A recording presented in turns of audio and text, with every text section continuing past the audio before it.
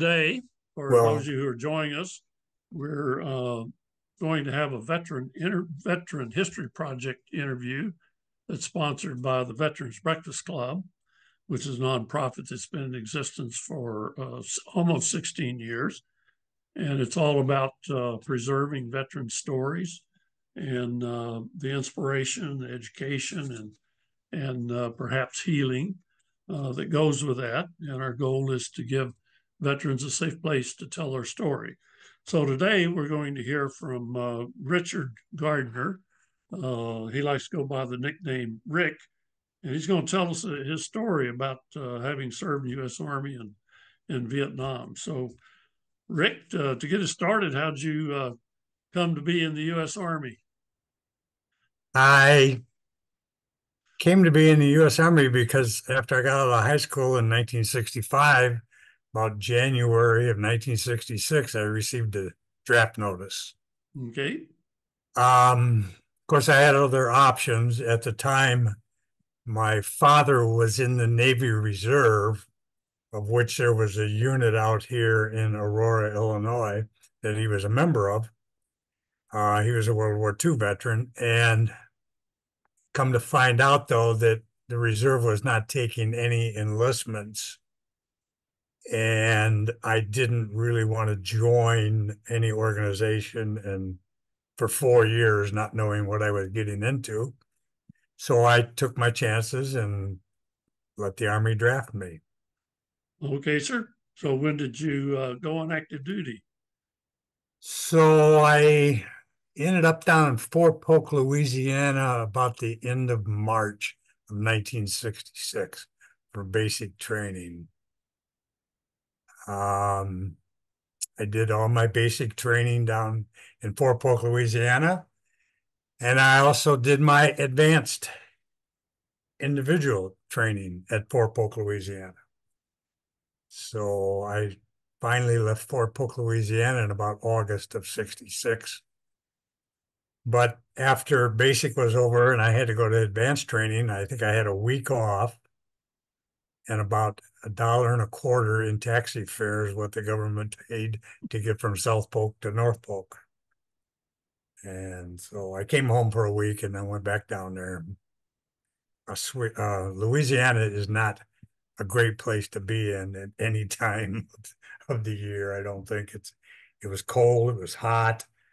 Uh, your basic training you learned even in, in March and April, if you fell out in the morning in long fatigues and did your 10 mile marches or runs or whatever it was, you had to stay in them by the time it was one o'clock in the afternoon and it was 70 degrees, unless you decided to fall out in shorts and suffer in the cold for a little while. So we learned real quick to suffer in the cold and it was better than having to sweat to death in the heat. And so I, I did all my training. Um, and then I had orders to go to Vietnam. I had a month off before, went to Oakland, then I left Illinois and went to uh, Oakland, California, to get ready to prepare for the uh, flight out to Vietnam. Which um, I, I I guess I can go back to basic training and and and advanced training. Uh, none of it was. I mean, it, it was all good. It wasn't extremely hard. It wasn't anywhere near as bad as what I thought it would be. So I I, I liked to in in high school to run a lot and do a lot of other things. So I was in pretty good shape. So once I got over the initial shock of things, it was turned out okay. And uh, I made it through all of that.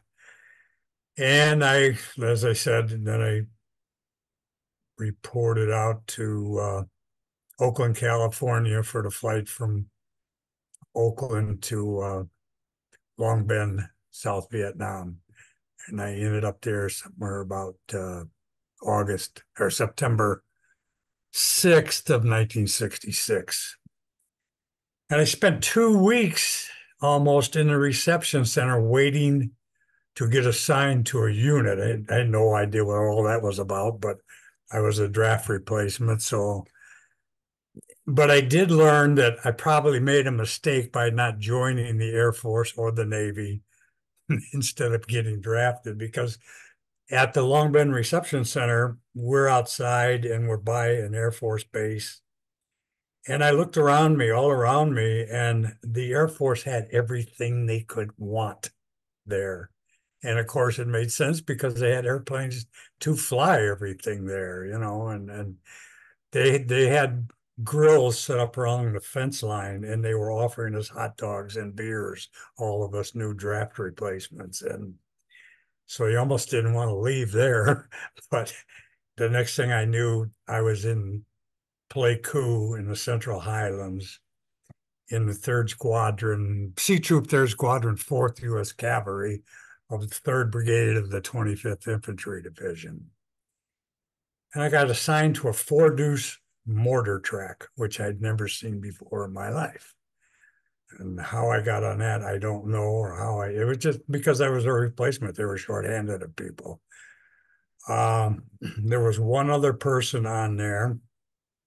He uh, had been original member that came over with the Cav when they came over, I think in something like January of 66. The first thing he told me was not to make friends with anybody. He says, because they're either going to rotate out of here or they're going to leave here dead. And that was kind of shocking. And it was sad too, because in the end, you met a lot of good people and you shared a year of your life with them in, in a lot of dangerous circumstances, things. But you didn't remember them that well. You didn't. Yeah, we made friends, I guess, but I just knew them by maybe a first name or something like that, which led on to even after then, after Vietnam, the urge to reunite with your fellow veterans. And it's harder to do, but I did it and we've been to many reunions and then enjoyed them.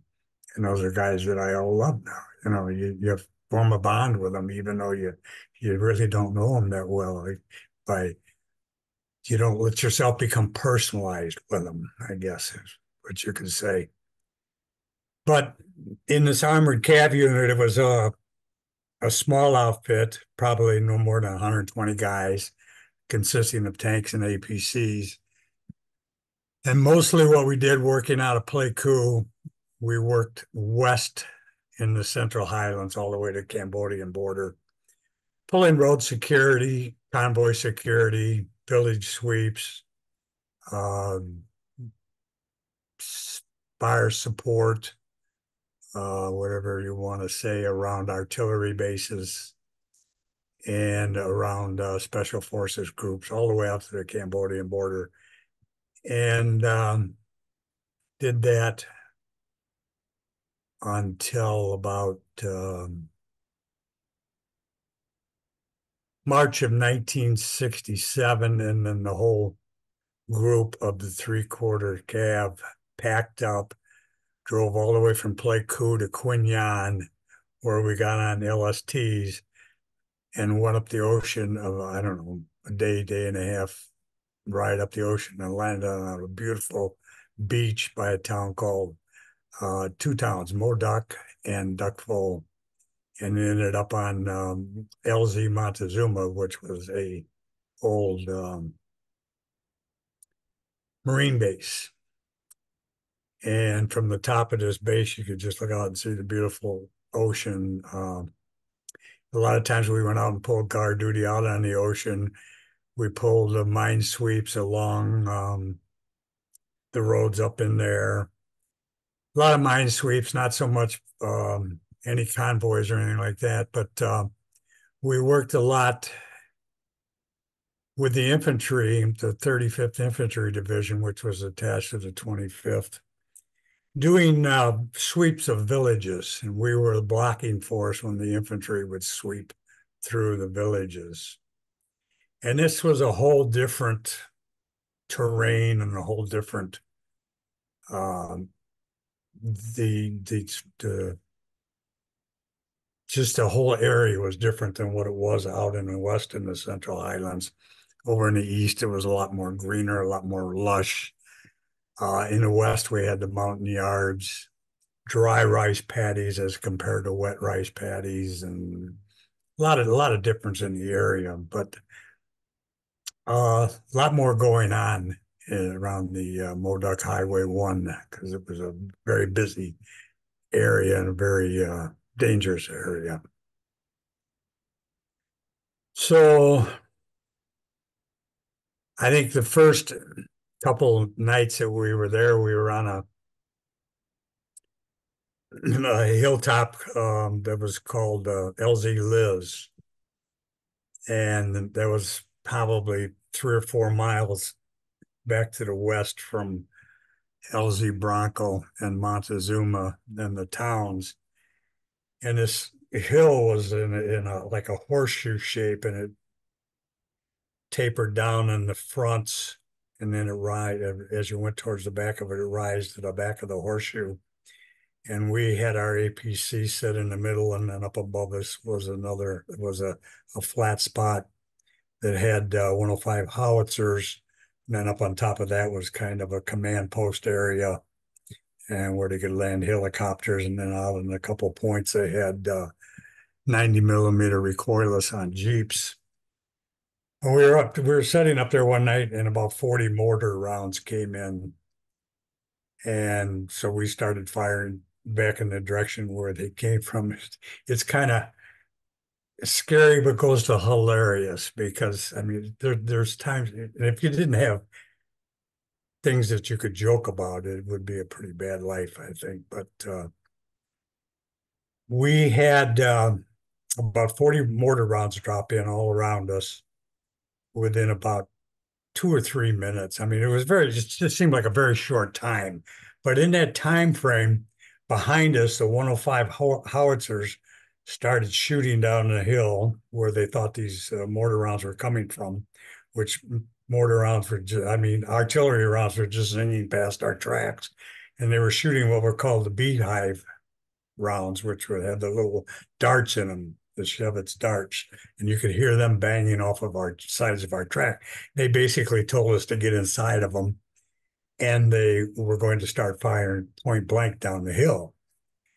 So then after them came the C-147s, I think it was called, with Puff the Magic Dragon, the 20 millimeter cannons. And they're flying all around and the, and the 20 millimeter rounds are bouncing, hitting our track as we're all hiding inside of them. And then the next thing to come out was five inch shore guns from the Navy.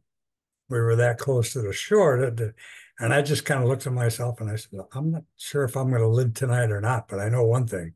It's not going to be the Viet Cong that's going to kill me. It's going to be my own people. You know, I mean, that's where the comical part of it comes in. I mean, it was just, but it's the amount of firepower we had. And it was amazing, you know, just how much firepower there is available to us there. And so, I mean, it was a typical exciting night. And then the the other things, like I said, we we would do um, sweeps of villages where we would be on one side of the village, and the infantry would start sweeping from this side, and we try and catch all the bad guys or whatever that came through. Um, also, uh, we sat around. We we arrived at one village one day and I, I think they had prior information that these villages, the thatched houses that were in these villages, contained weaving looms inside of them. So they called us out there with the infantry and a few of the APCs. And on the way out there, I picked up a Vietnamese who had no paperwork, but he had been shot at one time in the hand and he was treated by an American uh, doctor because it was well bandaged with pins and stuff in his hand and everything. So we picked him up, took us on to this village that we were waiting around. There was about 12 shacks that had weaving looms inside of them. These weaving looms were so big you couldn't get them out of the the, the houses. And so then we had villagers that were all upset and crying and things like that. So they had to call in um, I think it was called G two or G three, the higher ups to decide what they were going to do with all of these weaving looms, whether they were gonna tear down the villages and the houses and get them out of there, or if they were just going to try and give them over to the people that resided in the village. Um, so needless to say, we sat there for a really long time when we shouldn't have been there that long. And along the backside of the village towards the ocean was a berm that ran along there. And all of a sudden, a rocket, recoilless rocket round went over the side of my track. Now, my track was a four deuce mortar track in it. So I had four deuce mortar rounds in it, 4.2 inch mortar rounds inside of it, which I hardly ever used. And so it's a pretty big flat target to shoot a rocket at. And the first rocket missed and went over the side of the track. So I got up inside of the track and jumped down in the driver's seat and started up and turned in the direction that it came from. And the next one came right in the engine compartment right next to me. So they wanted to get that track really bad. But luckily, it uh, nothing happened that was any of bad consequences out of that other than I had to drive it all the way back to the uh, LZ Bronco to get fixed. Um, other than you know, we we had it was a totally different. Uh, you know, I, I spent the first what four or five months out in, out in the Central Highlands of Pleiku and west of there without too much uh, going on. But over in this in this area next to the ocean was it was really bad. We had uh, APCs hit mines during mine sweeps. We had APCs just hit mines. We had an APC. This was before I hit a mine, but this there's there's after that. But uh, we had we we started losing people, and uh, we'd lose we we'd some people that I'd made friends with. You know, it was here we were into what my sixth, seventh month. So yeah, I, had been with some people for a long time. Uh, still only remembering first names or something like that, but uh, you become you become a very close. It's a very close, tight knit group, and when you lose four or five people that hit a mine in a tank, that's that's quite a jolt when there's only 120 or so in your unit. And um, we had an APC that hit a command detonated 250 pound mine. And we lost four guys, and the infantry lost seven. We lost 11 people on that one track and that that hurts. And it wasn't until after I'd left Vietnam and came home that I learned that one of those people actually lived. And uh, we had, you know, we we just only heard. We didn't. Some people got sent out to the area where it happened. Um, I in, in June, a, a, date that I remember, 5 June of 67, uh, we were on a mine sweep, me and uh, my track and, and two other tracks. Uh, when one of the tracks broke down when we were crossing a small river. And so the mine sweep continued on, and we um, stayed there to decide what to do with this track, I guess we decided what we would do was tow it back to the um, LZ Bronco to where it get repaired. So we had tracked an armored personnel carrier, which I actually have a model of one of them right here. This is the mortar track, which you can look inside and you can see the mortar tube it's not very bright. Oh, well, great. Thanks for sharing that. Um, they have tow hooks on the fronts of them and on the backs. And this particular APC that broke down, I couldn't uh, tow it because the way it was, because they only had one tow hook on the front. So this is all after the minesweep had been, you know, minesweepers had cleared the road and everything. So I had to turn this track around. So I had to do it gently so that I didn't throw push too much dirt up in and then you push the track off the road wheels. So I just I gently push. I I just gently drive up to them, push, then go back around to the other side, push, and then come back around and around and around until I got it all turned around backwards. And then I got all hooked up to them. I'm ready to pull them. It's a good day so far. I don't think I it, it, I don't think I drove more than 10 or 12 feet and I hit a mine. And it was in inside of a pocket on the road that the minesweepers had missed. But I never expected to hit a mine because the mine the road had been cleared. And I just thought to myself, did I was it a rocket? It hadn't been a rocket because the, no you know logic would tell me it wasn't a mine. Um, just everything got dark, real dusty, dirty, went black, and a whole bunch of shrapnel and stuff come up through the floor. And uh, and then I I realized that um, it wasn't mine. When I got up out of the driver's seat, I looked back up for the commander, and up there in the cupola and the 50 caliber machine gun, it was all gone. It wasn't there. It was over in a rice paddy. And he was over in a rice paddy getting ready to fire the, the 50 caliber machine gun. And um, we were all we were, I mean, we all just only had minor injuries, but it was a it was a pretty exciting day. And, um, um, but we survived and we you know but it's just you just didn't know what to think because it's uh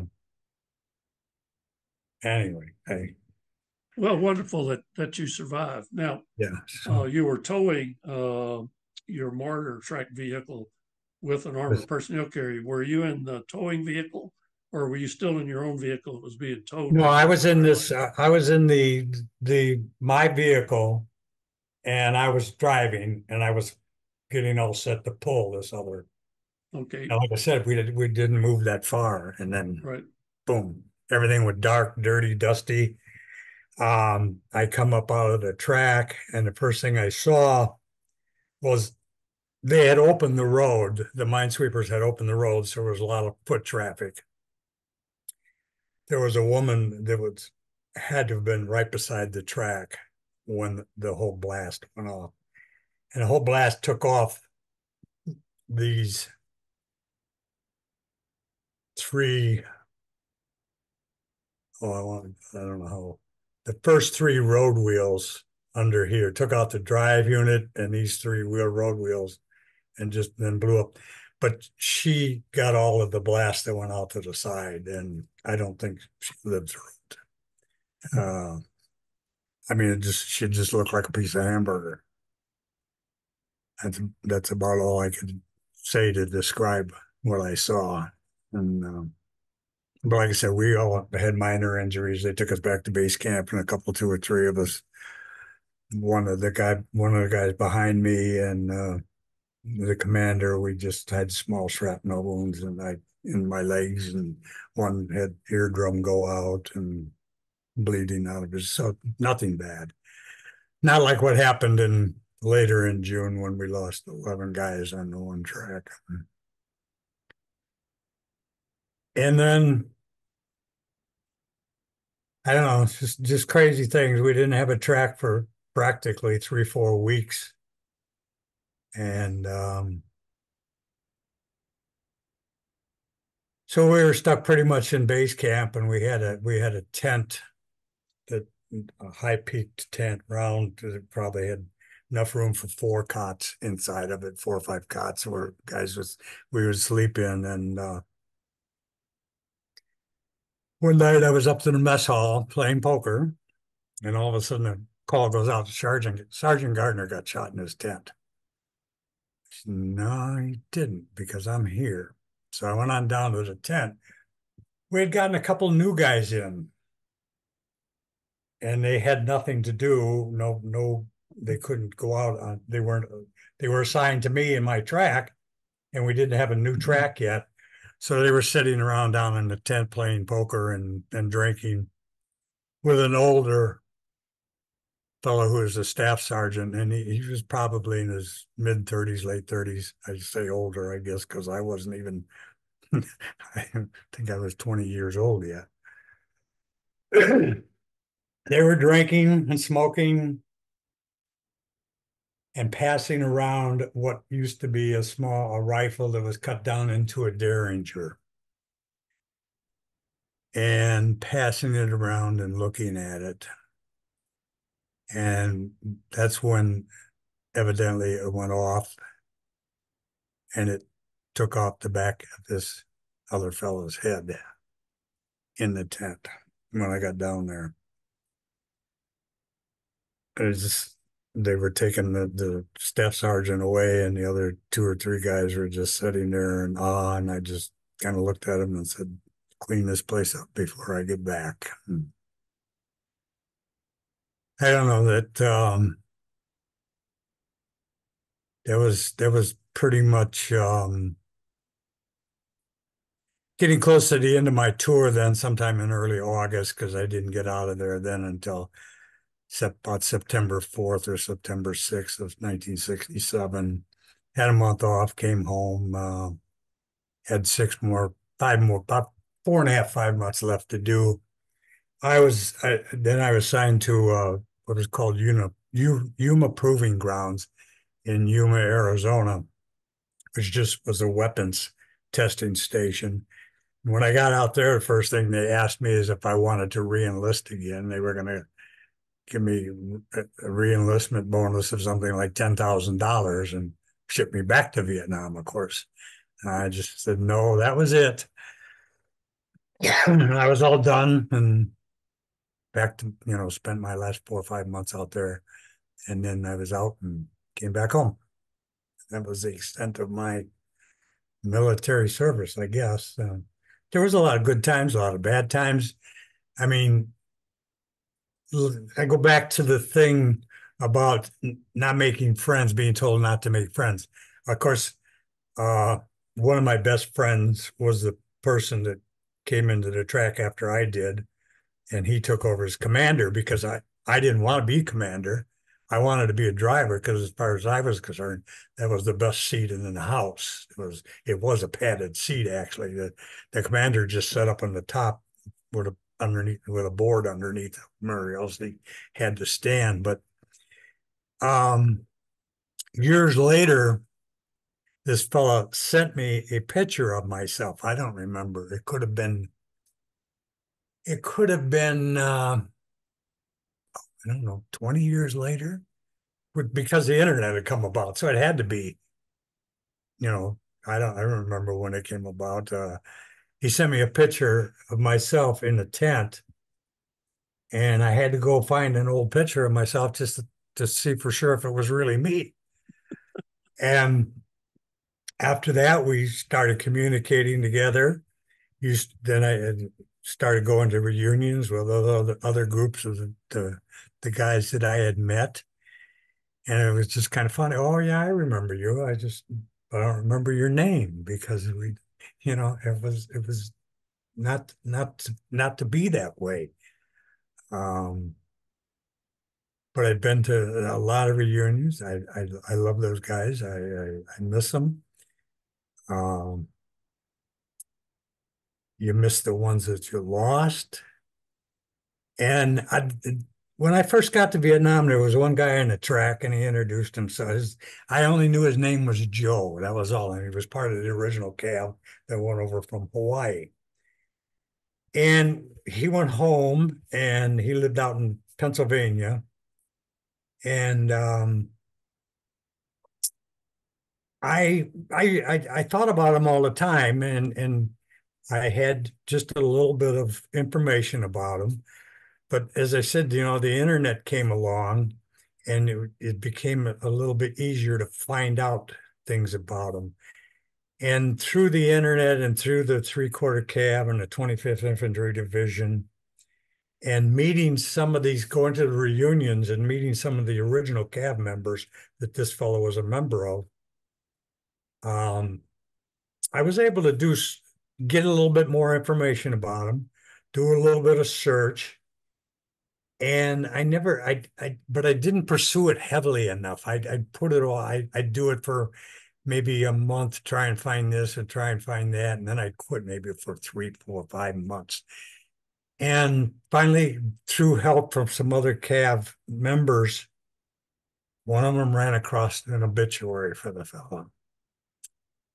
And he had he he passed away in 1983, which was a long time ago. And that made me sad. Um, I had pictures of him that I was trying to get to his family. And uh, so I just kind of put it off for a while and stuff like that. And then I got a little bit more involved and for, through some more help, I found I I knew his last name and um I did I I I find out I found out what high school he went to. I found his class reunion picture. I asked I, I got a hold of the class or of the somebody from the high school, asked if I could make posts on their site for their from their graduating class, if anybody knew how I could find him or anything like that. Never got anything on a hit like that, but one of the other Cav members that is better at it than I am found an obituary for the fellow. And in the obituary was listed his wife and his kids and his children. And I started doing searches under their names and everything and, stuff like that. And I um and this was probably just five or six years ago. I hit on one of the kids' names in a Jewish newsletter. Just popped up on the internet. And so I called a person who was there, it, it was a magazine or some kind of paper that was published. And I called the publishers whose name was in there. And I explained to him what I was trying to do. And in the best way I could, not think I'm make him think I was a stalker or something like that, you know. And I gave him my telephone number. I told him I had pictures of him when he was in Vietnam. This was before he would have been married, before he had any children or anything like that. And um, I left all that information with this person in the newsletter. It wasn't two hours later, I got a call from his wife. Boy, I was so happy, but sad because it wasn't the Indian I wanted, because I didn't want him to be dead. But you know, I explained to her, her who I was and and uh, how I knew him and all that kind of stuff, and uh, and we we probably talked for an hour, and she said, "Yeah, send me all the pictures you got," you know she'd she'd remarried and, and things like that. But I think you know kids know seen pictures of their dad that they never knew about or anything. I just had to do it. Why? But so I stay pretty much involved. I actually am co-president of a Fox Valley Veterans Breakfast Club here in Oswego, Illinois. Um, this club has been going on since the fifties. It was started by World War II vets. And um, so I, I still, you know, do things with other veterans. And of course, they're all, when I first went to this Breakfast Club in 19, I forget when it was, maybe 1975 or something like that. I looked, I, I, I was probably 50 years old and I looked at all these other veterans and they were World War II veterans. I said, these guys are too old for me and I never went back until maybe up six, seven years ago. And now I am them because the World War II vets are almost all gone, and I'm now that age, you know. And so uh, I, somehow I found this, uh, you know, your Veterans Breakfast Club, and I, I, I talked to Todd and stuff like that. And so yeah, I keep busy doing things with other veterans, and makes me happy, keeps me sane, I guess. You know, I I, I wished every veteran would do that, and and I I think you really need that camaraderie that it, it, even if it was only for a year or less time than that it's a bond that people are going to that civilians just don't understand. Yes i didn't think i'd ever be like that. My dad spent 27 years in the navy. Uh, i didn't think you know two years would create such a uh, a hold on you know just in your heart. Probably the best people i've ever known in my life so high school people I spent four years with, you know, and I still see them practically every day. I don't know what else I can tell you. well, that's great. Just uh, a couple things. Uh, you know, I'm I'm uh, I'm pleased that you've made connections with some of the people in your unit and that you've enjoyed the uh, uh, the unit reunions that you've been able to go to. Um, how was your transition though uh, when you went home? Uh, after spending uh, two years on active duty. Did you do any active reserves, or you just no. did it all inactive? No, no, uh, I didn't have to do anything. The Vietnam vets uh, draft was too active, and then the rest of the other six years was just non non-existent. I didn't have to go to anything. I did make a big mistake though. I pretty much started drinking and drank heavily for quite a long time probably started drinking. I got, I was back home and I wasn't even 21 yet. When I turned, I was in, when I was in Yuma, Arizona, I was still 20 years old and I'd been going to the bars out there every, from September when I got there. My birthday is December 31st. All the way up until two weeks before my birthday in 1967, I had been going to bars and two weeks before my birthday, they all cut me off. I said, What are you talking? Why are you cutting me off? I just, you know, I've been coming here for four months. They said, We knew we, you weren't 21, but it's close to the holidays. We have to do it. but yeah, that's when I probably should have quit. But I, I drank real heavily and um, I didn't know anything about any benefits or anything like that. I didn't find out about uh, any help or anything like that, and probably about till about 2009, till I started going to the VA. Um, so, and actually, in about 1986, I quit drinking and gave up smoking both at the same time. And I did that by quit going to the bars. If I didn't go to the bars, I didn't need to drink. That's where my friends were at. We're at the bars. Sure. Different kind of friends. Don't go there. Yes, that's true. Would you meet good friends elsewhere. That's that's for sure. Well, praise yeah. the Lord that you were able to uh, to move past that. Uh, did you take up another vocation after you uh, left the army? Well, no, just uh, I, I worked as a mechanic and okay, and, and and and also auto parts sales and stuff like that for pretty much until I retired. Okay, well, great. Well, I've just had a couple things that piqued my interest while you were telling your story. You, you talked about one village that had all these uh, weaving looms in them. Yes. Um, that you couldn't take out of the house. What were they using the looms for? Yeah, I, I my best guess was, I mean, because us privates and that kind of stuff weren't privy to that kind of stuff, but I, I we we were guessing they were manufacturing black uniforms or something like that. For, okay, they were using for the, for the VC or something. For the VC. Yeah. yeah. Okay. Understand. And then uh, the awful incident with uh, they cut a rifle down to Jer- uh, Derringer size. Yeah. Yeah. Was that a U.S. weapon they cut down, or was it a? They cut down an M, they cut down an M one, as far as I know. Oh, an M one. Oh, yeah, and, and, and, passed it around. Yeah, I mean that's quite an induction to Vietnam. You know, you know, all of a sudden you haven't, you haven't, you you haven't really become orientated to the place because you haven't really experienced anything and then something like to have something like that happen. This other fellow, like I said, he'd been in, I don't know, 12, 14 years and had a family and stuff. Uh, uh, I I followed.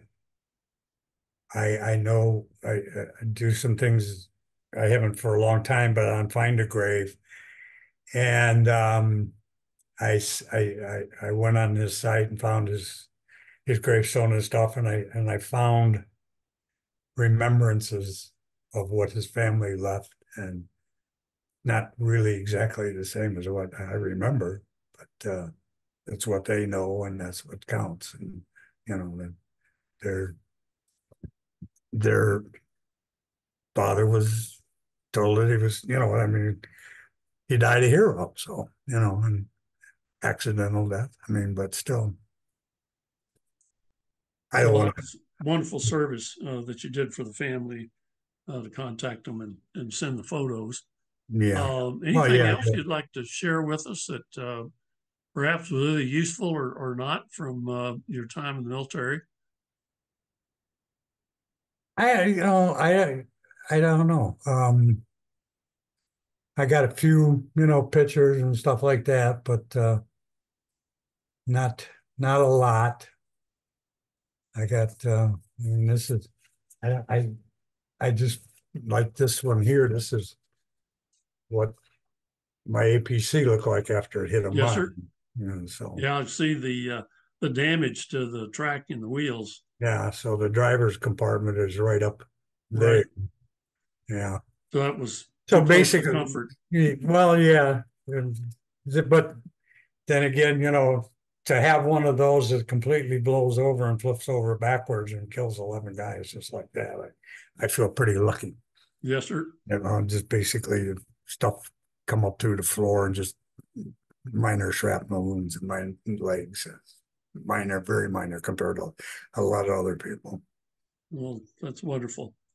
it's an experience that I had. I mean, I'm glad I did it. I'm glad I didn't try and get out of it.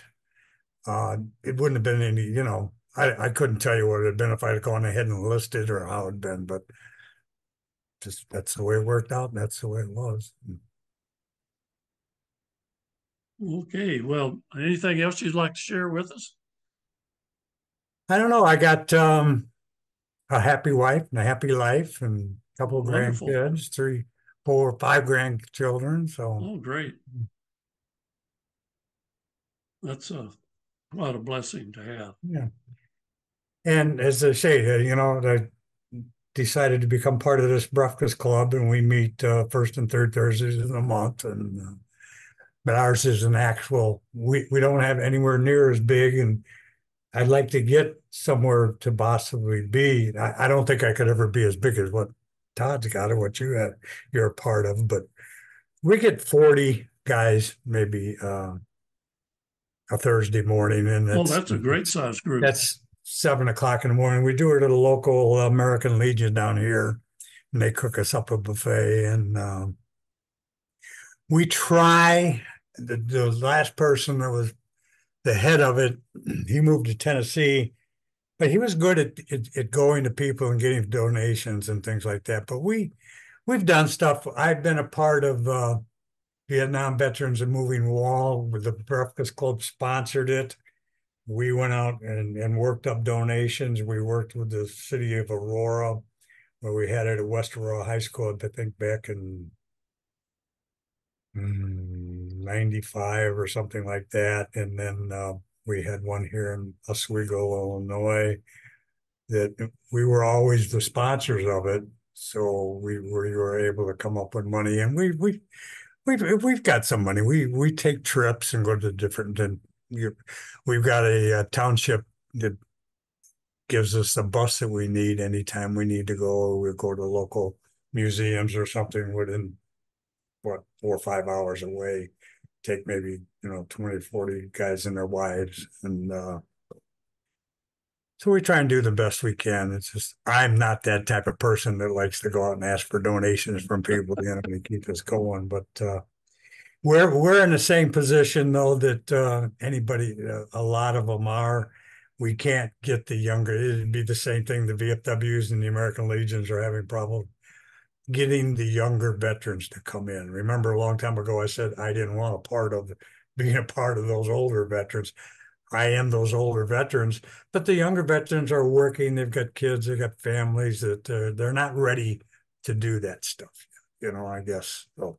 Sure. We we, we try and get them to come in, but uh, we just got to try a little harder. But we still survive. Well, it's great that you can share the common bond uh, that you have Yeah. um, with other people who served um, in the armed forces, and that's a very tight bond.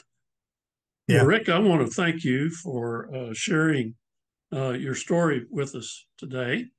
Uh, so th- this will be posted uh, shortly on the uh, Veterans Club um, website for those you who are enjoying this. Uh, you've already found it, and we're glad that uh, you've enjoyed the interview. So thank you so much, Rick. Appreciate it. Thank you very much for having me. You're very welcome.